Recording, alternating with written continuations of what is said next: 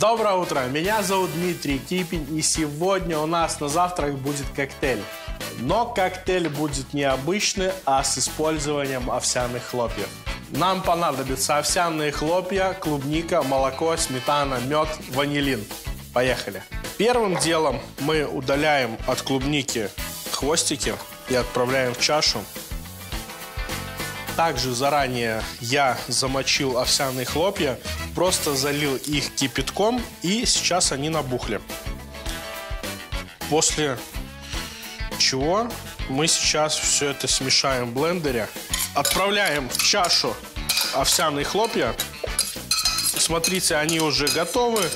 Я их не проваривал, а еще раз повторюсь, просто залил э, кипятком, горячей водой. Овсяные хлопья – это клетчатка, а клубника свежая – это колоссальное количество витаминов.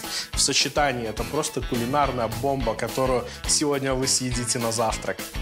Итак, добавляем молоко, добавляем сметану, а также мед вместо сахара. Но если у вас нету меда, добавьте щепотку сахара. И ванилин для аромата. Закрываем.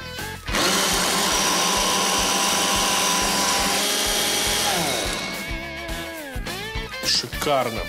Практически секунд 20-30 нас отделяет от того, чтобы правильно и вкусно позавтракать.